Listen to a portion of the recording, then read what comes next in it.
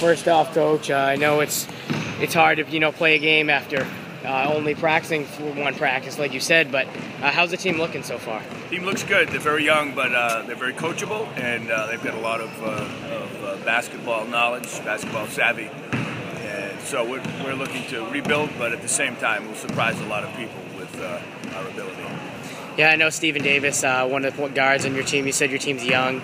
he had 22 tonight. Just talk about how he bring what he brings to your team. Stephen Davis is uh, extremely athletic, and he uh, plays the game year round. Um, he jumps very well uh, around the basket. He's going to clean up a lot of uh, a lot of junk, um, pick up a lot of points from uh, uh, from offensive second looks. very athletic, very very good basketball player. And just talk about Class B, the KVAC com or Class C, the KVAC conference. How you're uh, gonna have to, you know, the teams you're gonna have to play this season. Yeah.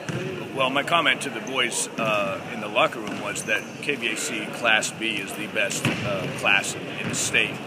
Whenever a uh, state ball is given, it usually is given to a Class uh, B KVAC team.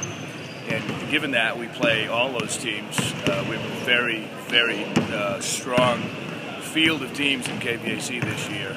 there's nobody this week lot of very good, uh, very good teams. They're all well coached, uh, excellent coaching staff on all these teams that we play against. So it's a great atmosphere for basketball.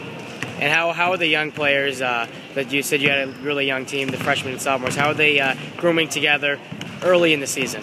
Well, they are young, and, and you would think that because they're freshmen and sophomores mainly, I have no seniors, I have three juniors that um, there maybe would be some chemistry issues, but there really aren't any. These kids are focused, uh, they're committed, they uh, are very coachable, and it's um, we're excited. My son and I, Ross, uh, my assistant coach, we're very excited about having the group of kids that we do. Though they, they are young, uh, they are they're very coachable, very athletic, and, uh, and, and ready to get after it. So we're, we're looking forward to a good season. Thank you, coach. Have a good season. Thank you.